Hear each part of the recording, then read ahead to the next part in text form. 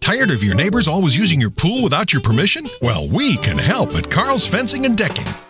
We've not only fenced in our customers' yards with custom wood, vinyl, and aluminum fences, but our staff has turned backyards into beautiful outdoor living areas with decks, gazebos, sheds, and much more. So come visit us at Carl's Fencing and Decking, where you're surrounded by the best. Thank you, Carl's Fencing and Decking. Yeah, thanks a lot. Carl's Fencing, you're surrounded by the best.